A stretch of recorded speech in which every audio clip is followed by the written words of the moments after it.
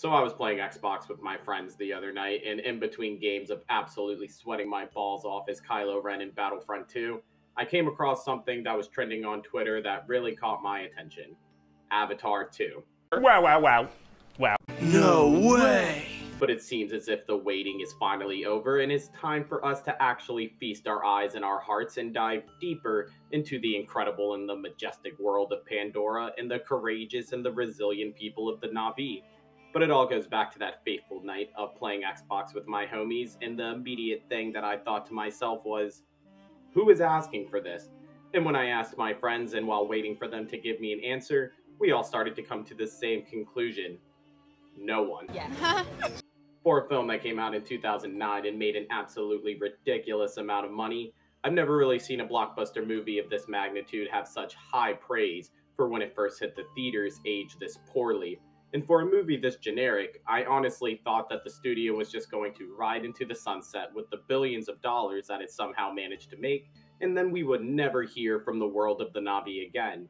But of course, as Hollywood goes, if there is money to be made, then shitty movies and lack of common sense will always prevail. Not a great plan. But if you're anything like me and only watched this movie for the first time all the way back in 2009, I highly doubt that you even remember the plot of the movie and what Avatar was even all about. So allow me to jog your memory, but don't worry, mates, this one won't take long at all. Okay. As most space movies go, we start off with things not really looking too good for the human race as we travel our way through the depths of space, searching for resources to maintain our human survival, leading us to the planet of Pandora, an absolutely stunning planet with a lot of lush and colorful forests, big and immense bodies of water, rock glaciers that float around in the sky, mutated animals that are both fierce and intimidating as they are beautiful and friendly. What is going on? But the biggest problem that our humans face is that there is already a native species living here on the planet. The people of the Na'vi, a bunch of big smurfs with tails that happen to live in a larger than life tree that happens to be right on the resource that our humans need. It's a super huge coincidence that the big smurfs with tails don't even use the resource that the humans need, but happen to build their big tree settlement and big ass tree city on such a big mound of stuff that the humans happen to need. But instead of doing the bad human thing and just immediately coming in and taking the resources that we need with force and just creating another conflict that the humans would have to overcome, the big solution is to create artificially made Smurfs with tails that our heroes would subconsciously connect to, to infiltrate the big tree and to learn more about the planet of Pandora and the Na'vi to create a more peaceful solution. A solution where maybe both parties can benefit from each other's unlikely appearance. Yeah. We follow our generic protagonist number one, Jake Sully, a paralyzed war veteran that just happened to stumble his way onto the mission. See Jake Sully, which will be his artificial name throughout this video, seeing how they say it absolutely so many times throughout the movie, wasn't even supposed to be here. His original avatar was supposed to be piloted by his twin brother, but after being killed in the worst way ever in cinematic history, off screen, Jake Sully has to step up to the role of his brother, seeing how his avatar can only be controlled by the genetic code that it was made for. Like, okay, I'm sure that sounds right.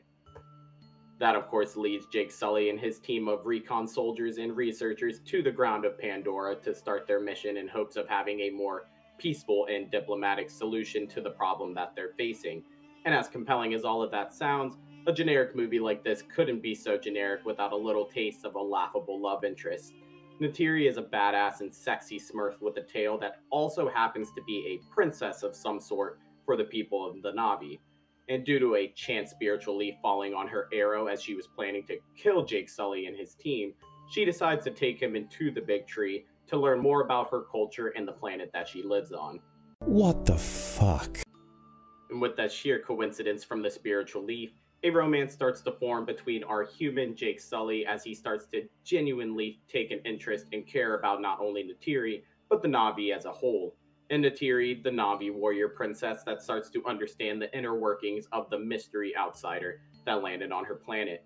But of course, that leads to our generic interpersonal conflict. See, the generic villain of our movie is a military war commander whose name I don't actually remember and didn't even care to look up his character name, so for the sake of this video, we're gonna go in and call him Scar. Nope, not that one. Nah, still wrong. Come on, we're getting a little closer. Ah, there we go.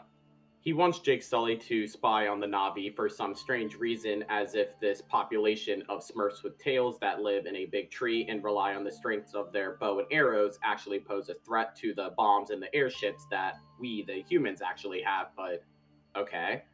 Which obviously leads us to the moral dilemma of who he's really working for and where his alliances truly lie. Obviously, the rest of the movie plays out exactly how you're thinking. Neytiri, the Navi, and even Jake Sully's own team inevitably find out about his betrayal to set up the redemption arc for Jake Sully to save the day. Scar decides to take the superior technology that us, the humans, actually have and attack the big tree of the Navi. Jake Sully's redemption arc is fulfilled by coming back in the nick of time because, you know, they only have bows and arrows, and joining the side of the Navi destroying the humans' tanks and ships, and bringing his decisive marine skills to the table to help the Navi win the fight for their planet.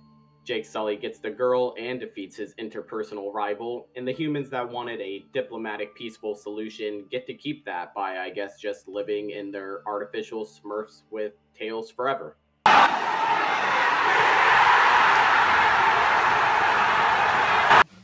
Hi. Okay. What is going on? Again, it just goes back to the question that I asked my homies, and now I ask all of you. Who's asking for this movie, yet alone another four of them? Writing wise, this movie is on the comprehension level of Disney movies like Frozen and Zootopia, which are both far better movies than this movie could ever hope to be. I understand the strong comparisons of this film to movies like Fern Gully, Pocahontas, and Dances with Wolves, but man, if you ask me to rank these movies in order with those four, who's choosing this one? Obviously there's a bunch of more random things that happen in the movie like when ripley's character is dying so the navi bring her into the tree to download her consciousness forever into her avatar body which obviously makes no sense because like have you done this before? Are these not the first humans that you came in contact with? Are you used to downloading consciousness into other people? Because they all seem pretty surprised when they first found out about it and our generic corporate leader that seems to have not a single shred of humanity left, even though we're meant to assume that humans are a dying species. So, you know, wouldn't you be a little bit more compassionate seeing the situation of your own species? Avatar made a heck of a lot of money. I'm sure this one is bound to make even more. But the more I've grown up and actually started to pay attention to the world around me, I started to realize that box office money doesn't always adequate to being a good film. We've had plenty of examples of this in even just the past five years. Rey Skywalker. no, no, no, no.